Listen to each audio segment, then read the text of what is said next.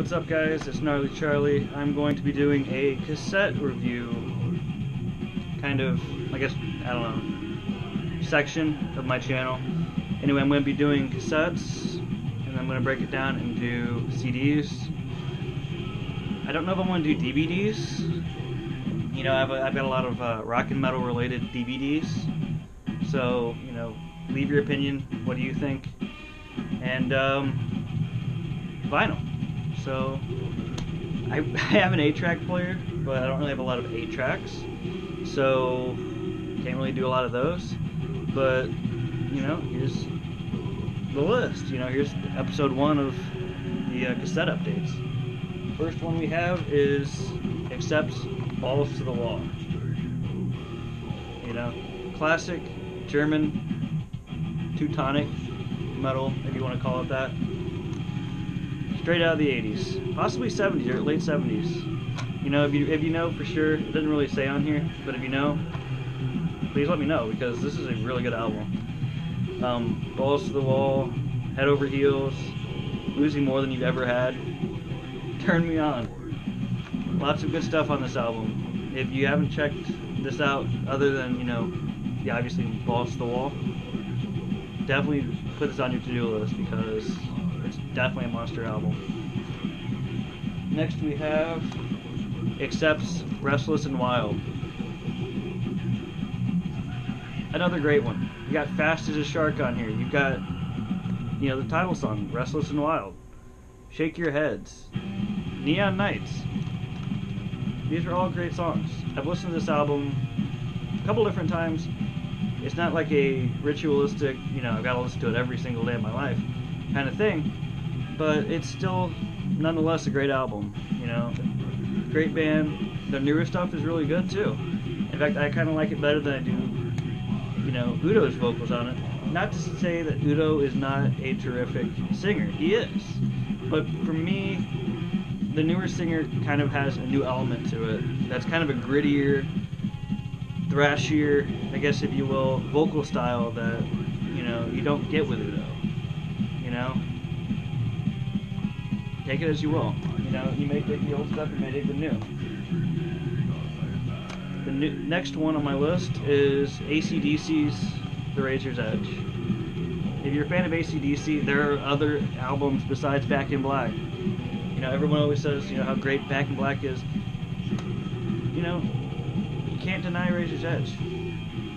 You know, with songs like Thunderstruck, you know, you can't go to a baseball game or basketball game. Well, maybe a basketball game, you can't go to a baseball game or football game without hearing Thunderstruck. You know, it's just a mandatory thing. Monday, money talks. Rock your heart out. Got you by the balls. Shot of love. Good stuff. You know, can't go wrong with good classic ACDC. In fact, I don't think there is in my opinion, a bad ACDC album. Now I could be overthinking it, and I, you know, maybe not thinking hard enough on it, but you know, I haven't, you know, on top of my head, I can't think of a bad ACDC album. Next, I'm a huge Kiss fan, just so you know. I've got, you know, all four of their solo albums. I think they're all original. I'm not 100% sure. But I've got all four of the solo albums on record, and uh, you know, whenever I saw this at my local record store, I just had to buy it. It's Ace Frehley's Frehley's Comet. I think it's the second solo album. You know, after he, it's the first one, I guess, after he went solo and broke off from Kiss. If I'm wrong about that, you know, let me know because I, I want to say it's the first album. You know, there's obviously the first solo album where it's got him in the Kiss makeup, but I believe this is the first one on his own, 100%, not his, not released under a Kiss moniker, no makeup, but yeah, Rock Soldier was my jam for a little bit. Definitely a good album. Next one, definitely one of my favorite bands. Um, I actually had to get this on three different formats. This and uh, the other album. which I'll tell you in a minute. The other album, though, I couldn't find it on the format. Anyway, it's Acid Witch Stoned. This is probably one of my favorite Acid Witch albums. You know what? Scratch that. It is my favorite Acid Witch album. Um, it this one comes on orange cassette, which I just love. But you know, Acid Witch really outdid themselves with this album. It's you know, this is one of those albums that I can put on and not skip a song. I mean, I can't really on cassette, but I've got it on I've got it on CD. I've got an MP3 version on my phone to listen to on the go, and I've got it on vinyl. You know, this is one of those albums that you know it continuously, start to finish, great album, and you know I wish I'd known about it when it first came out, or I probably would have you know bought it then, and I'd probably be a bigger fan now. But in fact, I actually own all of their stuff on all the formats they have, except for the two demos. I guess you call them EPs. I don't know, but those are the only two that I don't have. But anyway, Acid Witch Stoned. I wish I had the uh, Witchtanic Hellucinations on cassette, but whenever I've tried to buy them from Hells Headbangers, they only had the Stoned album.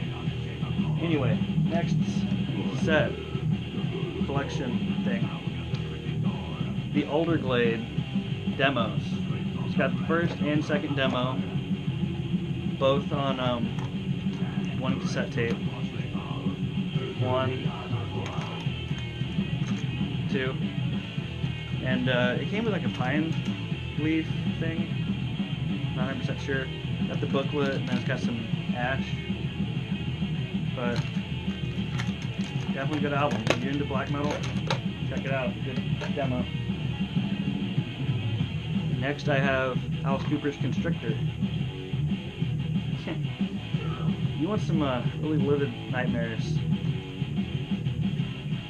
Wish really good dreams. Depending on who you are. Any Alice Cooper album. But Constrictor is definitely a good one. Teenage Frankenstein, Thrill My Gorilla. Good stuff. I think this is the comeback album for Alice Cooper. It's uh, Trash. Another good album. I am not super big into Alice Cooper, but you know, for what it's worth, he's got good albums. Um, this is another good one. I think this is his comeback from the '80s when uh, went away. You know, did some pretty, in my opinion, bad albums, Dada, and you know some other ones, but good album. Oh, lost that one. I have Hey Stupid. Another good one.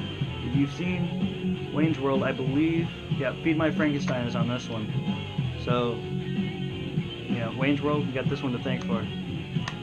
That's not the only good song on here. There's loads of good ones. This is probably my favorite, actually, Alice Cooper album. It's got Hey Stupid, Love is a Loaded Gun, Burning Our Bed, Might as Well Be on Mars, Feed My Frankenstein, Hurricane Years. All good songs.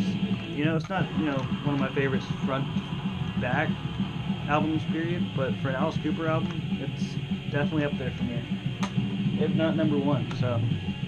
And the last one we have today is not really, I don't really consider it a metal album, but um, the best of Bachman Turner Overdrive.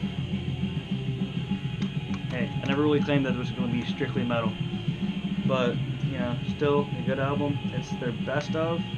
It's got uh, Rolling Down the Highway, Looking Out for Number One, Ain't Seen Nothing Yet, and Taking Care of Business that you've probably heard of. Even if you don't know the songs straight up, you've probably heard the movie somewhere.